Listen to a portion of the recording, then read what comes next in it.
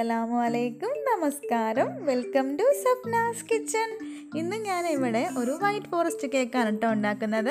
ആദ്യമായിട്ടാണ് ഉണ്ടാക്കുന്നത്. അപ്പോൾ എന്തെങ്കിലും മിസ്റ്റേക്ക് ഉണ്ടെങ്കിൽ എല്ലാവരും ക്ഷമിക്കണം. അപ്പോൾ നമുക്ക് വീഡിയോയിലേക്ക് പോകാം. അതിനു മുന്നേ എന്റെ വീഡിയോ ആദ്യമായിട്ടാണ് കാണുന്നതെങ്കിൽ പ്ലീസ് ഒന്ന് സബ്സ്ക്രൈബ് ചെയ്യാൻ മറക്കല്ല കേട്ടോ തൊട്ടടുത്തുള്ള ബെല്ലൈക്കൺ കൂടി ഒന്ന് ക്ലിക്ക് ചെയ്യണേ. അപ്പോൾ നമുക്ക് പോകാം വീഡിയോയിലേക്ക്.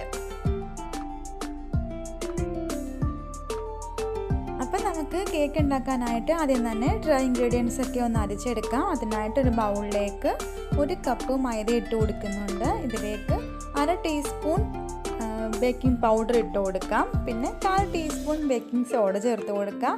പിന്നെ രണ്ട് ടേബിൾ സ്പൂൺ പാൽപ്പൊടി കൂടെ ചേർത്ത് കൊടുക്കുന്നുണ്ട്. ഇതെല്ലാം കൂടെ ചേർത്ത് നമുക്ക് മൂന്ന് തവണ അരച്ചെടുക്കാം കേട്ടോ പാൽപ്പൊടി കൂടെ ചേർക്കുവാണെങ്കിൽ പ്രത്യേക ഒരു ടേസ്റ്റ് ആയിരിക്കും കേക്കിന് നമുക്കിത് വേണ്ടെങ്കിൽ സ്കിപ്പ് ചെയ്യാം കേട്ടോ അപ്പോൾ ഞാൻ ഇവിടെ ഇത് മൂന്ന് പ്രാവശ്യം അരിച്ചെടുത്തിട്ടുണ്ട്. നമുക്ക് മുട്ടയൊന്ന് ബീറ്റ് ചെയ്തെടുക്കാം. അതിനായിട്ടൊരു ബൗളിലേക്ക് നാല് മുട്ടയൊന്ന് പൊട്ടിച്ചൊഴിച്ചു കൊടുക്കാം കേട്ടോ. ഇനി നമുക്ക് മുട്ട നന്നായിട്ട് തന്നെ ഒന്ന് ബീറ്റ് ചെയ്തെടുക്കാം. ഞാനിവിടെ ഒരു കപ്പ് മൈദയ്ക്ക് മുക്കാൽ കപ്പ് പഞ്ചസാര പൊടിച്ചതാണ് എടുത്തേക്കുന്നത്.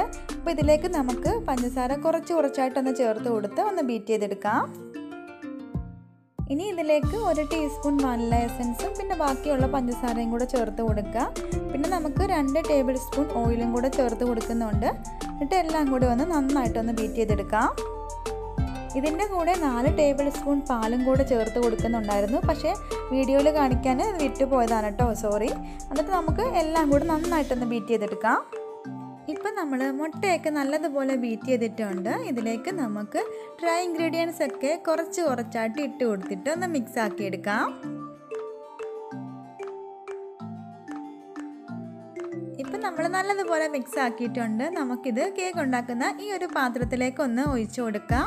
നമ്മൾ ഈ പാത്രത്തിൽ കുറച്ച് മുന്നേ തന്നെ ബട്ടർ പേപ്പറൊക്കെ വെച്ച് ഓയിലൊക്കെ തടവി വെച്ചിരിക്കുമായിരുന്നു അപ്പോൾ ഇതിലേക്ക് നമുക്ക് ഈ ഒരു മിക്സും കൂടെ ഒന്ന് ഒഴിച്ചു കൊടുക്കാം.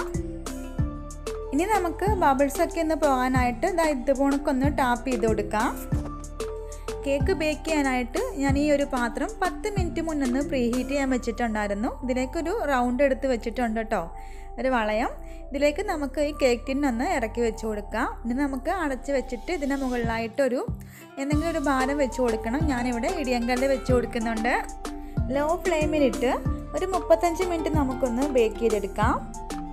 ഇപ്പോൾ ഒരു മുപ്പത്തഞ്ച് മിനിറ്റ് ആയിട്ടുണ്ട്. കേക്കിനൊരു മണമൊക്കെ വരുന്നുണ്ട് കേട്ടോ. അപ്പോൾ നമുക്കൊന്ന് തുറന്ന് നോക്കാം. കേക്കിനി ഒന്ന് കുക്കായെന്ന് അറിയാനായിട്ട് ഒരു ടൂത്ത് പിക്ക് വെച്ചൊന്ന് കുത്തി നോക്കാം.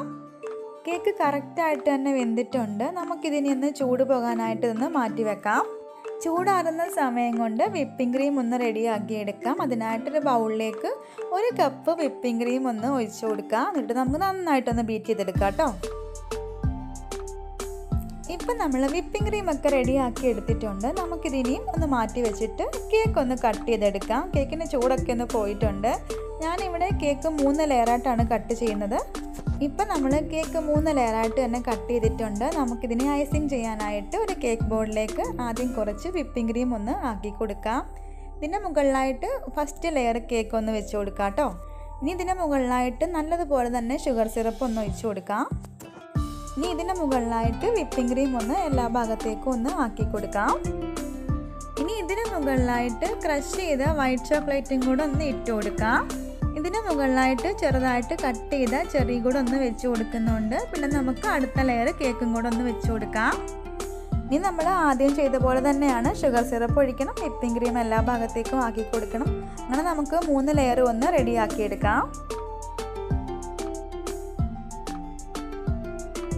ഇപ്പം നമ്മൾ മൂന്ന് ലെയറും റെഡിയാക്കി എടുത്തിട്ടുണ്ട്. നമുക്കിനിയും ക്രീമൊക്കെ ഒന്ന് തേച്ച് കൊടുത്ത് എല്ലാ ഭാഗത്തേക്കൊക്കെ ഒന്ന് ആക്കി കൊടുത്ത് ലെവലാക്കി എടുക്കാം കേട്ടോ.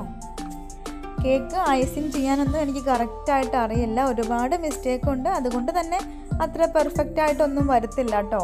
അപ്പോൾ എന്തെങ്കിലും മിസ്റ്റേക്ക് ഉണ്ടെങ്കിൽ എല്ലാവരും ഒന്ന് ക്ഷമിക്കണം. അപ്പോൾ നമുക്ക് കേക്ക് ഒന്ന് റെഡിയാക്കി എടുക്കാം.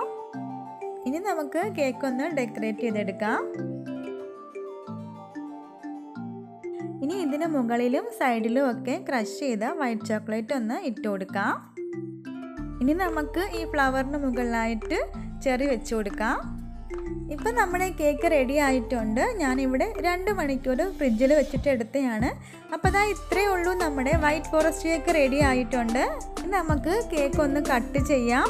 നല്ല സോഫ്റ്റ് ആയിട്ടുണ്ട് കേക്ക്. അപ്പോൾ നമ്മുടെ അടിപൊളി വൈറ്റ് ഫോറസ്റ്റ് കേക്ക് ഇവിടെ റെഡി ആയിട്ടുണ്ട്. അപ്പോൾ നിങ്ങൾ എന്തായാലും ഇങ്ങനെ ഒന്ന് ഉണ്ടാക്കി നോക്കിയിട്ട് ഫീഡ്ബാക്ക് അറിയിക്കാൻ മറക്കരുത്.